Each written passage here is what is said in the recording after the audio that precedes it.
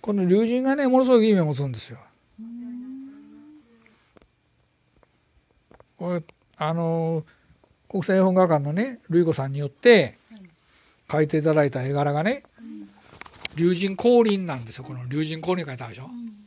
でこの最初はこの沖縄の家のところに覗き人があってねでかぐや姫をみたいなことで来たシーンを描いておられたんですけど突然この龍神の絵柄を描き出さはったんです。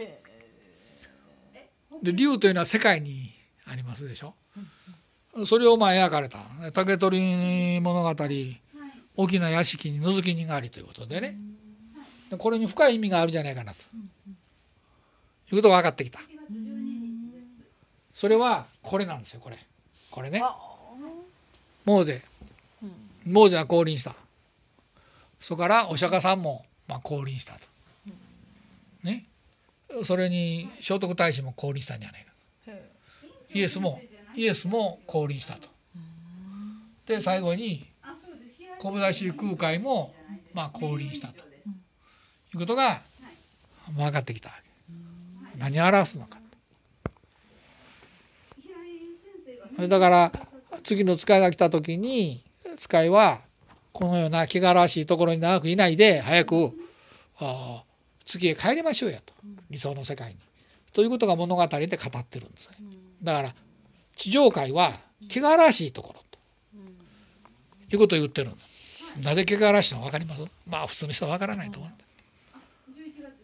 悪いやつがいっぱいおる。うん、ということを言ってるんです。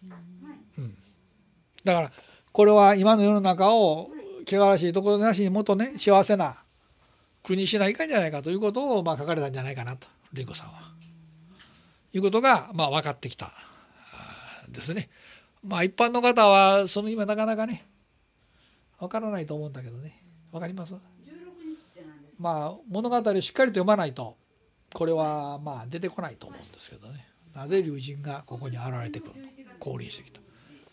今まさにい。ろんな人たちが降臨してきて世直しが始まったということなんです。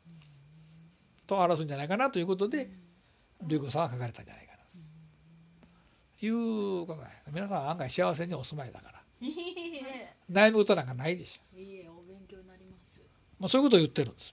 これは重要なんですね。ここの博物館のね。まあそういうことですわ。はい。以上でございます